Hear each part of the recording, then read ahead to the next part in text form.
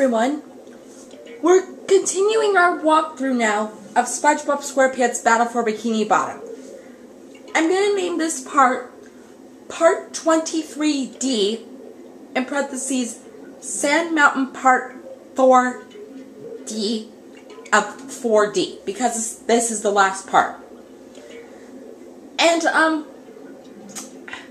and like I said in, in the part 4 for all the letter parts, we're going to um go down with Sandy to get all this stuff on the on the slides. And we used SpongeBob and Sandy to get some spatulas. So because of because of the fact that for part 4A we just got all the spatulas um that we were missing. You know these two? Like see where my see where my thing is going side to side? Those are the two we got um in part 4A.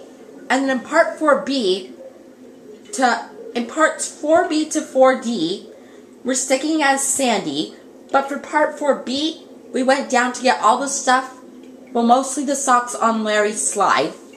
And then in part 4C, which was the last one, we went down um we went down with Sandy on Bubble Buddy's slide at least twice because of the eight Sandmen we needed to get.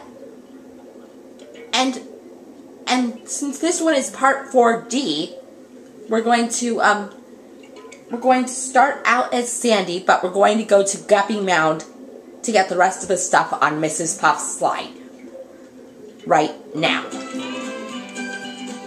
See, because in when we stopped the video, we completed the Flounder Hill one. But now we're going to come up here to the Gup to Guppy Mound and then go into it. Because this is where the last sock is located, but I forget where on the track. So, hold on a second. You see why I'm kind of going back and forth on those? It's just because of the fact of the colors in the sky. You know, because those weird colors in the sky always bother me. Gosh dang it. Uh, okay.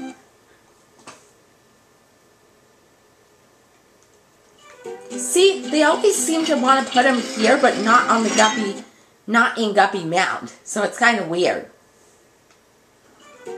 There we go. So now we're going to, um, oh, now we're going to do this. And now we're going to, um, touch this Thunder Tiki and now go down the slide. And then get the shiny objects that we were missing. Oh, I think I know where the last sock is located. Yeah, because we missed it with SpongeBob right here. See, now there's the last one of them. And now we can, we're gonna try. But you see, you see that in the end you need to use Sandy in order to get the 50 up there. See, because this is the tricky 50. See that there's that purple up there? And you see why I'm nicknaming that one the tricky 50? It's just because of the long distance that we need to go in order to get it. And you see how you see how the shell sometimes comes in the distance when jumping from the Texas hook. That's what I was trying to do because that's the only best way to get it.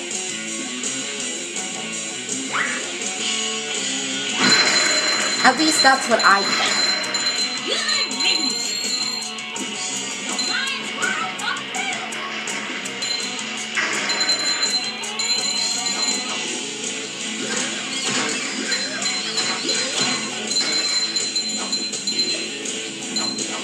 There we go. And now we have like five minutes or so, so we are going to try to, whoa, what, uh-oh, okay. And you see that, that finishes up that. But you see why I'm roping back here?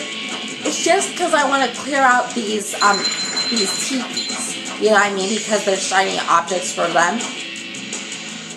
I mean from them. There we go.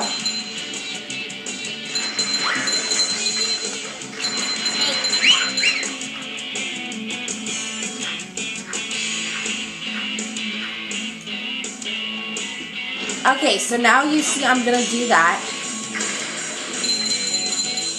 And I believe we're going to get up to um, 10,000. I'm not sure.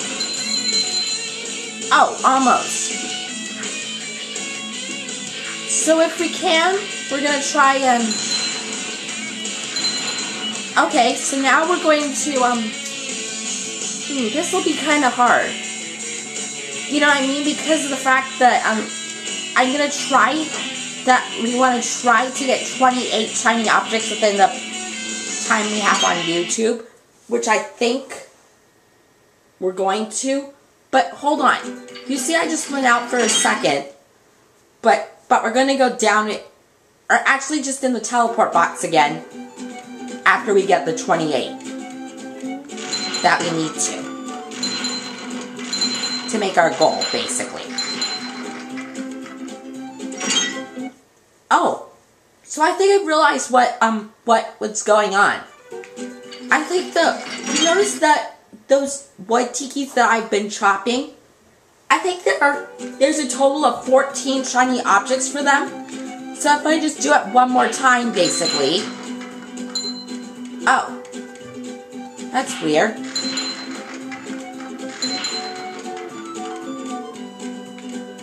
Oh. like that. There's our... Oh, that's weird. We got a green... Oh, maybe that's because we got an ultra combo. That's why. Okay, so now we're just going to get all of these, basically. Since because of the fact that we got the green. Because I was thinking, wherever, um, wherever, if we reach the 10,000 mark for shiny objects, that's when we were going to stop.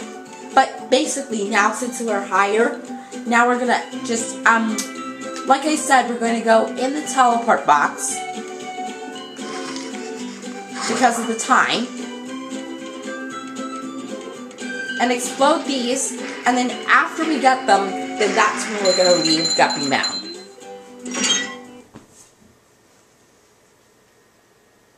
And then um now since we have those I'm going to just get these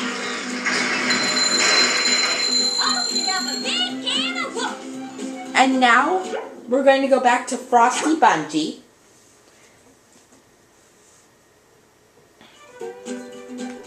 Yeah, there basically might have to be a part 4D because... Or actually, this is part 4D, so it's actually a part 4E because of the spatulas. So now we're going to exit Sand Mountain. Or maybe they're there might not even have to be a part 4D. I'm not exactly sure.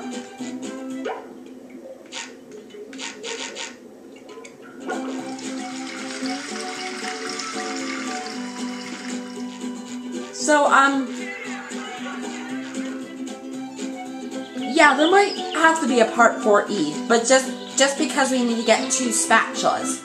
So, um, so since we completed Sand Mountain, I'm gonna come right to where the second part of Bikini Bottom starts, basically at this toll booth, and stop the part here. So that in the next video, we can start up on the on the two spatulas you guys can see there for Bikini Bottom. Because those are the two I was thinking in order to get to the amount we need to open that industrial park. Which is the which is the video after this this next one. You know I mean? Two videos from this one.